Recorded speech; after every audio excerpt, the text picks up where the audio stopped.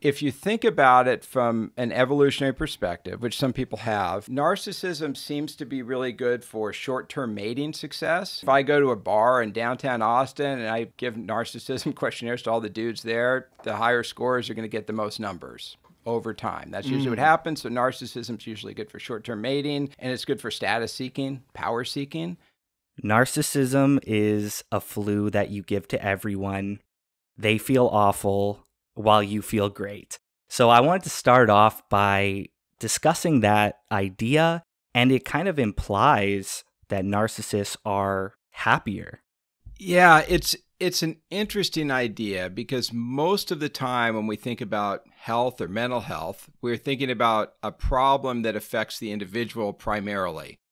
So somebody's anxious, they're they have anxiety all the time. The, the anxious person is suffering. People around them suffer a little, but not as much. Somebody's depressed, it really hurts, but the people around them, it's not fun being around depressed people, but the depressed person hurt, hurts most. There are these other cases, though, where the people around are the people who suffer. So one example are things like addictions. So alcoholism, you know, at the early stages, if you're hand, if you're holding it well together pretty well, you can have a decent life as a drinker, but you really damage your wife and kids. Narcissism seems to have some of those same qualities where if your narcissism is working, you're you're having some success in life, getting some positive feedback, you're able to feel good about yourself, but at the same time exploit or damage others. So you can be a terrible father, terrible husband, but you can still go, I'm killing it. Look at my performance at work. Look at how well I'm doing. Look how attractive I am. Look at my spouse and, and kids. They don't really, they still think I'm awesome. So you're able to have this, this disorder where the primary victims, or I should say victims, the primary sufferers are people in a close relationship with you. And that's a little different than most disorders. And that what what makes what makes it harder to treat in a way is you go to somebody who's really narcissistic, who is not having a lot of problems himself or herself. You go, you need to change, and the person says, "Well, I don't really need to change. I feel pretty good. In fact, I feel I'm kind of better than everybody else." It makes it hard to change. Your question about do narcissists feel good? Uh, when we're talking about grandiose narcissism as a personality trait, so this is the narcissism that has more energy, more charisma, more extroversion. That form of narcissism, people who have it generally have high self esteem and have more positive emotion, more positive affect. That's a fancy way of saying they're happier. So there does seem to be some benefit, at least in terms of self esteem and happiness, to being a little bit narcissistic. And the costs are often more interpersonal. I assume a narcissist wouldn't reach out for help. They wouldn't purchase a book or go see a therapist because if I'm anxious, it's affecting me every day. If I'm depressed, it's affecting me every day. I will invest my time in purchasing a book, listening to a podcast like this, going to see a therapist. If I am a narcissist, it would be almost impossible in many ways to say I need to get help. Is that correct? It's a real challenge. It's a real challenge to get people who are narcissistic to say they need help. And I should, there is a more vulnerable form of narcissism where you have a lot of depression that goes with it. And that form you do seem more likely to seek therapy. But with the kind of what most grandiose forms, it's hard to get people in therapy. Sometimes they get in there for relational problems or for addiction. So that's sometimes a way in. Um, the other thing that's a challenge that you don't think about, or people don't necessarily think about, is even in therapy, the dropout rates with narcissism are much higher. So you're getting people in therapy, and you know, imagine I'm in therapy, and they start saying, "Keith, you know, you're, you know, you think you're a ten, you're really more of an eight. That's pretty good. Eight's pretty good." And you're like, "You know, I don't need to hear this. I, I've got these friends, and they tell me I'm a ten all the time. I'm going to hang out with my friends." So there's some resistance to therapy.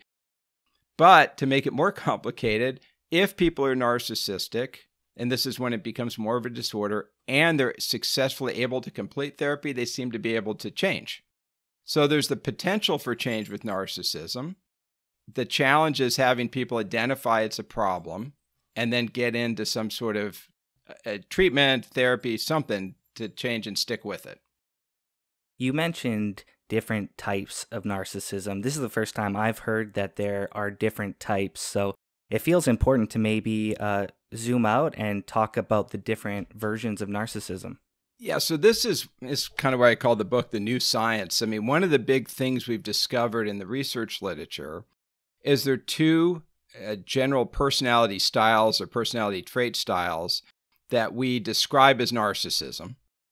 And the one that we're most familiar with and most people will think about is this combination of sort of a sense of entitlement and a need for admiration, coupled with a drive for power, a drive for achievement, maybe some charisma. So, this is what you see with the narcissistic leaders, the narcissistic celebrities, the narcissistic people you end up in bad relationships with, your former horrible boss, who. So, it's this combination of drive and, and, what makes that grandiose narcissism work is there's a lot of drive and ambition. So people that are really confident and driven and, and self satisfied, and they do pretty well. This other form of narcissism, which we're not as familiar with if we're not therapists and we're not clinicians, is called vulnerable narcissism. So this has the same sense of entitlement, the same I'm better than other people, but instead of that extroversion and drive like, you know, Tony Stark and Iron Man, you're you're a little bit neurotic, you're insecure, you don't think people respect you, and you're you know, maybe a little introverted. So sometimes this more vulnerable form is called covert narcissism because it's hard to see. Sometimes it's called shy narcissism because it's kind of quiet. Sometimes it's called basement narcissism because it's, you know, like you're living in your mom's basement, you know, yelling at the world for not paying attention to you. People, so if you're ambitious and you're willing to go do stuff, that's that works out okay. It just leads to problems. If you're ambitious and you're not willing to do things because you're kind of neurotic and vulnerable, that leads to this more that leads people to end up with a lot of depression anxiety and they end up in therapy for it so people are more vulnerably narcissistic end up in therapy and sometimes well it can come to the surface and i'm assume almost like everything there's a spectrum right because does somebody with like a really high self-esteem and high confidence is there like a fine line and then it becomes narcissism is there a spectrum or is that the wrong way to look at it um, it's it's both right and wrong. So it, there is certainly a narcissism spectrum. I mean, I think about narcissism as primarily personality trait, meaning most of us are somewhere in the middle. Some people are high, some people are low there's a very small percentage of people who are very high in narcissism who have some other real problems, and that can be diagnosed as a clinical disorder, which is narcissistic personality disorder, which people confuse with sort of narcissism. But that's the very extreme end, would be the disorder. But within that spectrum, self esteem is a little different. Self esteem tends to correlate with narcissism. So people who are narcissistic also like themselves. I mean, I should say the way we define self esteem is having a positive attitude about yourself. So self esteem is like, I, I, like Mercedes, I like, you know, I like Hawks, and I like myself. So self esteem is really just your simple attitude about yourself. People who are narcissistic have high self esteem, but it's not the same thing they go together. But you can have very high self esteem. Like, yeah, I'm a good person. I'm equal to other people. I'm satisfied with who I am. I really like who I am. That doesn't make you a toxic person. Saying, you know, I really like to look at myself in the mirror. I'm better than other people. If I ruled the world, it'd be a much better place. I wish someone would write my biography. That's narcissism, and that's where you get more social problems because you you know these people want to dominate and have people take their picture when they're dominating others. I guess my curiosity would go to the origin of this. Is this something that's genetic? Is this your childhood experiences? Is is this the way you were kind of brought up? Is there an element of genetics that you found? Absolutely. Um, what we find, and this isn't just narcissism, this is kind of all personality. What you find is there's a good chunk, about 50%, maybe more, maybe up to 60, but definitely 50% that seems to be heritable, probably genetics. There's no gene. I mean, there's no there's no single gene for any of these things. It's a combination of genes working together in ways we don't understand. I want to be clear about that. If anyone tries to sell you narcissism genetic test, it doesn't exist. But these things are really heritable. About 50%, about 10% to 20% is is can be linked to parenting. So when you look at, you know, what your parents do, it's a very small percentage. As parents, you know, we think we have all this power shaping our kids' personality. We really don't. We can we can work on the margins, but the personality is really kind of what we do genetically. What you find with narcissism is they say, "Ah, my parents were a little permissive. They put me on a pedestal. They said I was a special child."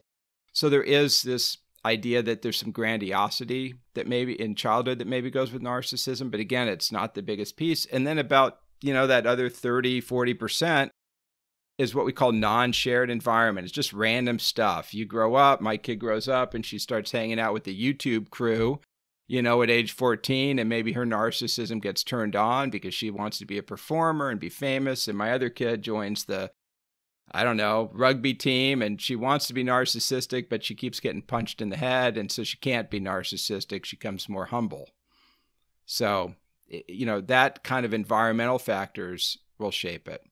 This is probably almost like a personal question, but as an expert, someone that's written books and have been talking about this for a really long time, it almost seems like a kid could have lost the genetic lottery, made a couple of choices in middle school to hang out with the right crowd, wrong, wrong crowd in this case. Do you almost have empathy? Because the word narcissism is almost like the word psychopath. These people are bad. They should be shunned, stay away. Um, but it kind of sounds like a kid could have got almost unlucky to become a narcissist. So, do you have almost empathy for a lot of people oh, dealing with this? Absolutely. I mean, I've I've been studying narcissism for 30 years and I see it I really see it as a trade-off. And I see this with all person including psychopathy. I mean, there's a benefit to psychopathy. I, I can tell you about discussions I've had with surgeons about it. There's so narcissism is really a trade-off. It can be beneficial in certain areas of life. It's beneficial in getting dates, it's beneficial in public performance, it's beneficial in becoming a leader so it has these positive outcomes. It also has negative consequences. It can damage close and loving relationships, can make you an unethical leader. Um, it can harm you in other ways.